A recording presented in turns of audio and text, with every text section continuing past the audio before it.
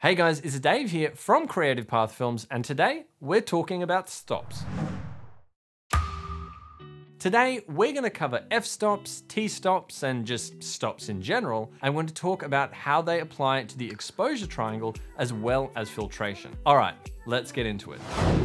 So what is an exposure stop? Well, to put it simply, a stop is simply a doubling or a halving of the amount of light being exposed by your camera's sensor or by a piece of film. So if you increase your exposure by one stop, you get double the amount of light. And if you reduce your exposure by one stop, you get half the amount of light. Okay, so that's the easy part. Now let's see how this rule applies to each part of the exposure triangle, so aperture, ISO, and shutter speed, as well as to filtration so lens filters and lighting gel. All right, let's start with ISO. ISO simply measures your camera's sensitivity to light. So if we look at this ISO scale, a one stop increase or decrease occurs when the value doubles or halves. Pretty straightforward. So a jump from 200 ISO to 400 ISO is a one-stop increase. It should be noted that most cameras will allow you to control your ISO in either full stop or one-third stop increments. There is also a half stop increment, but these are less common. Personally, I prefer one-third stop increments because I find full stop increments to be a little bit too big of a jump, and I like that added precision. It might be worth committing this one-third scale to memory because you can't work these values out mathematically. They don't always divide evenly by three. All right, now let's look at shutter speed. The same rule applies to shutter speed as it does to ISO. Every time you double or half your shutter speed, you get a one stop increase or decrease. So if we change our shutter from 1 50th of a second to 1 100th of a second, we're opening the shutter for half the amount of time, and therefore that is a one stop decrease in the amount of light. If we do the opposite and go from 1 50th to 1 25th of a second, we're opening the shutter for twice as long and therefore getting a one stop increase in light. Most cameras will allow you to adjust your shutter in either one half stop or one third stop increments. Last on the exposure triangle is aperture. Stops relating to aperture are commonly referred to as f-stops in photography or t-stops in cinema. There is a slight variation between the two, but that is a topic for another video. So let's have a look at the following aperture scale. On the scale, we have the following values. f1, 1.4, 2, 2.8, 4, 5.6, 8, 11, 16, and 22. Aperture is a little bit of an outlier in that it's the only exposure control where doubling or halving the numerical value doesn't equal a one-stop change. With aperture, it equals a two-stop change, just to be confusing. So let's give you an example. Let's start at f2. Now, if we double f2's numerical value, that gives us f4. But if we look on the scale, we've actually jumped two positions gone from f2 past f2.8 to f4, equaling a two stop jump. This scale is one that you definitely want to learn off by heart because it's not one that makes sense with any kind of simple math. Let's talk about what's physically happening inside the lens every time we change our aperture value. Every time you go up and down a value on the scale, the iris inside the lens is physically doubling or halving in size. Aperture scales come in both full stop, half stop, and one third stop increments. But to be honest, if you're new to this, I suggest just focusing on the full stop values. In the 10 years that I've been shooting, I've never needed to learn the half stop and third stop values off by heart. It's just not something that you use very often.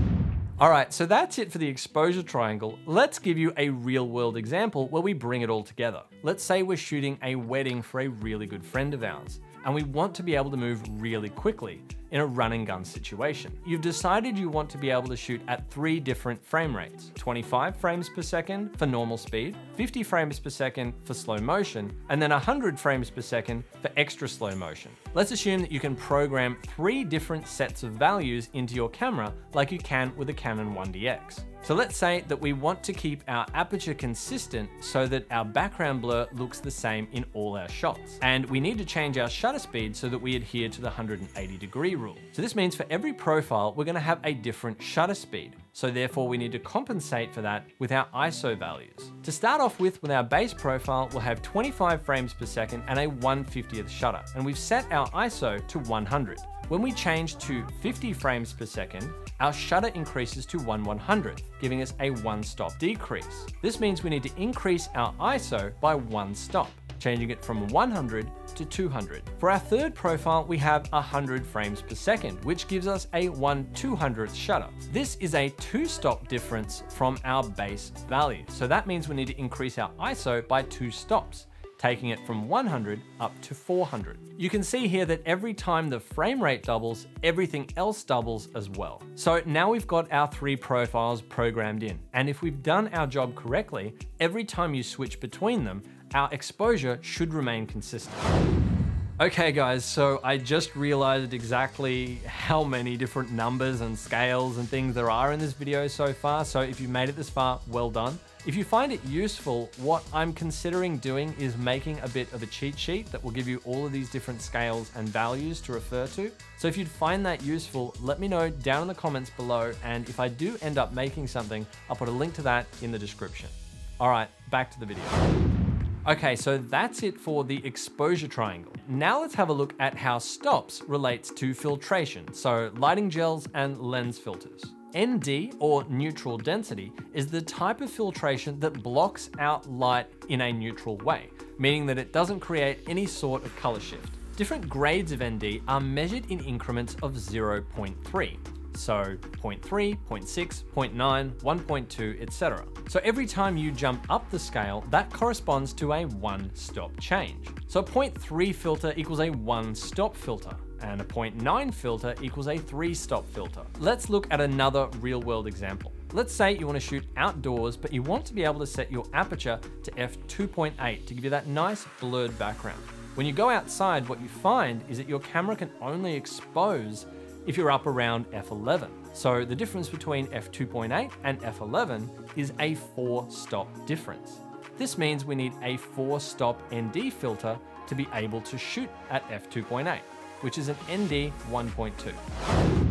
So the same applies to lighting gels. Let's say you've got a light that is two stops too bright and you need to cut it down. Well, in that case, you'd need a two stop ND gel, which is ND 0.6. If you come to understand the language and the values that we've covered in this video, then that's likely to carry across to anything that you'll encounter in the future related to exposure. If you liked the level of depth that I went into in this video, let me know down in the comments below. I was going to include image stabilization stops in this video as well, but I didn't want to bog it down any more than I needed to. So I'm going to be doing a follow-up video just on that topic, so make sure you hit subscribe so you don't miss out on that one. Thank you so much for watching, and if you learned something from today's video, make sure to give it a thumbs up to let me know. And I look forward to seeing you in the next video. What's a stop? Stop! It wasn't funny. I thought I was being funny. Let's start with ISO. Oh, itchy nose. All right, so that's it for the exposure triangle. Let's give you a real world example where we bring it all together. Shut up.